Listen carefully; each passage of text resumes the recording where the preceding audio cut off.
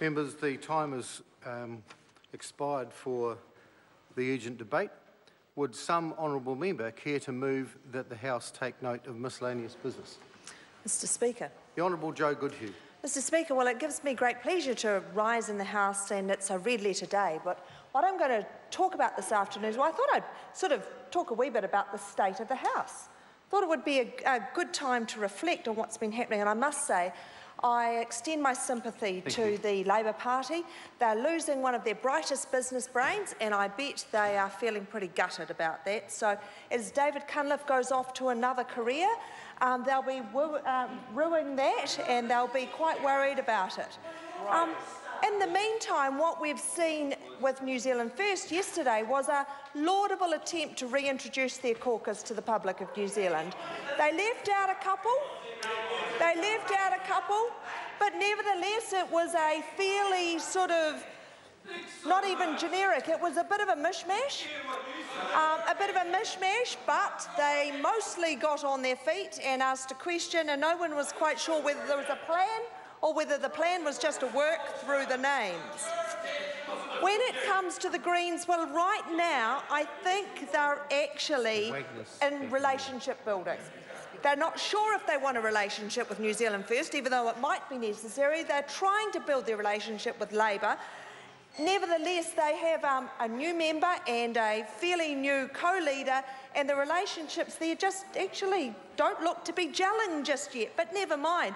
Maybe um, best described as jugglers looking for a circus, or actually today what we saw was catastrophising, which I suppose is better than what we've had in the past, which is a crisis searching for a crisis. Um, but never mind. New Zealanders New Zealanders are much more interested in the things that really matter to them, and the um, um, better public services are certainly things that are important to New Zealanders. The New Zealand national government has picked some really tough targets. And we are having some success, but there's not a moment that we can be resting on our laurels because these tough targets require us to keep at them to achieve them. I just want to talk briefly about BPS Target 1, and that's helping New Zealanders to gain independence from welfare. It's gone down um, 15,000 people since um, 2011. That's actually a future liability for New Zealand taxpayers of $3.6 billion. But there's a much more important thing about this liability going down, and that is the New Zealanders that are gaining a better life for themselves. That's 51,000 New Zealanders um, that are actually now off a main benefit since 2011. That's right. That's a phenomenal change in their lives. So it's gone down from 295,320 to 279,769 in the last result. Now, why does it matter? Well, if you're a child in a benefit dependent home, this is what it means for you. You have a 48% chance of not achieving NCEA level 2 compared to those who are not in a benefit dependent house. In fact, you also have a 48% higher likelihood or chance of being notified to Child, Youth and Family. These are the facts. This is not a label, this is a fact. So having these child, children in a non-welfare dependent household makes a very real difference to them. And then 45% of them are going to end up on a benefit themselves, therefore limiting their life choices.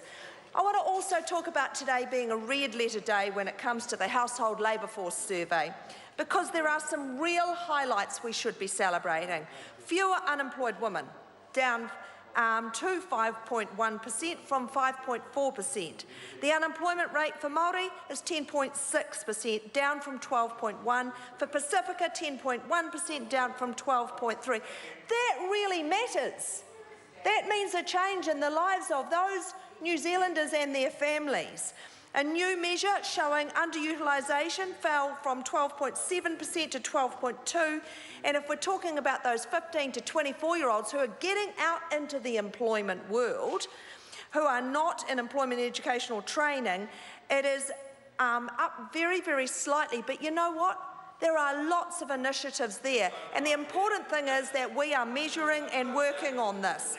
So we're reducing long-term welfare dependence, supporting vulnerable kids, increasing the proportion of 18-year-olds with NCEA level 2, and those 15 to uh, 25 to 34-year-olds with a level 4 qualification or better. Reducing crime. These are the things that really matter to New Zealanders that clearly are not on the radar of the opposition. That's right. Very good. Great speech. Mr. Speaker,